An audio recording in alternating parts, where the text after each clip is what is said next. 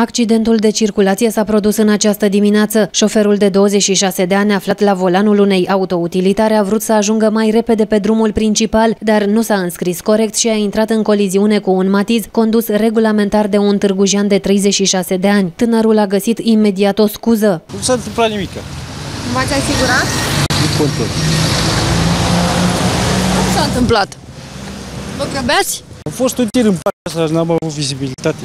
La fața locului a ajuns și un echipaj de la ambulanță care a preluat imediat o pasageră din Matiz și a transportat-o la spital. Femeia accidentată este chiar soția șoferului și sora sa a suferit câteva leziuni ușoare la cap. Întreaga vină este îndreptată către bărbatul care s-a aflat la volanul autoutilitarei. Eram mai multe persoane în mașină, eram patru cu fetița. Și în ce stare sunt celelalte persoane? Cum data, nu știu, mi se pare că are umărul rupt. Restul suntem bine deocamdată. Nu aveați viteză? Nu, nu aveam viteză, mergeam normal, domnul nu, nu s-a asigurat, cred că e obosit și nu s-a asigurat și a ieșit cu noi.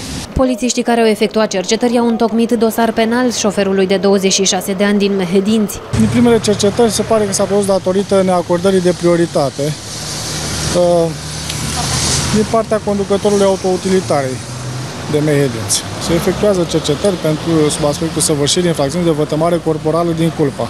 Cei doi șoferi au fost testați cu etilotestul, niciunul nu se afla sub influența băuturilor alcoolice.